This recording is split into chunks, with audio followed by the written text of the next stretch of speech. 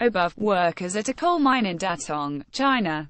The country's carbon emissions are forecast to rise this year. Greg Baker Agence France-Presse, Getty Images United Nations, barely a month ago, in a landmark speech to the Communist Party Congress President Xi Jinping of China promised that his country would take a driving seat in international cooperation to respond to climate change, but can China really be in the driving seat when it is burning so much coal that its carbon emissions are forecast to rise this year it may depend on how the country manages a climate agenda laden with contradictions. For one thing, China, the world's most populous country and the largest carbon polluter, is well on track to meet the commitments it made under the Paris Climate Accord, the global agreement designed to curb the worst effects of climate change, which the United States has said it is leaving and China didn't use a United Nations climate conference this week in Bonn, Germany, to promote coal, as the United States did, drawing jeers. The bar, it turns out, is pretty low. Energy specialists who follow China said the higher emissions projections, published this week by the Global Carbon Project, were to be expected.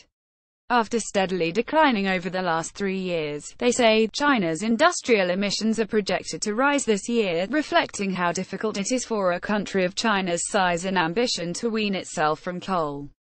What they are keenly looking at is the country's emissions trend over the next couple of years, and whether China steps up its climate ambitions in the face of American retreat. Floating solar panels in a lake created by the collapse of a coal mine in Lilulong Village, China. Adam Dean for the New York Times experts say China has compelling domestic reasons to get out of coal, eventually. Chinese leaders face acute domestic political pressure to curb their pollution, and so it's in the government's interest to phase out coal. China's own domestic air quality interest is very much aligned with its climate commitment, said Jiang Lin, a China specialist at the Lawrence Berkeley National Laboratory, which conducts research on behalf of the United States Department of Energy. To reduce air pollution it has to move away from coal. There's no doubt about that. The question is how fast. But getting emissions down is not so straightforward, especially for a country of 1.4 billion people. It can be zigzaggy, with ups and downs year to year, said Alvin Lin, the Beijing-based climate and energy policy director for the Natural Resources Defense Council, a research and advocacy group, and China will most certainly have many more ups and downs. He said he considered this year's projected rise to be an anomaly, reflecting an uptick in economic growth, a boom in energy-intensive construction projects and sparse rains to feed hydroelectric plants, the country's other main source of power.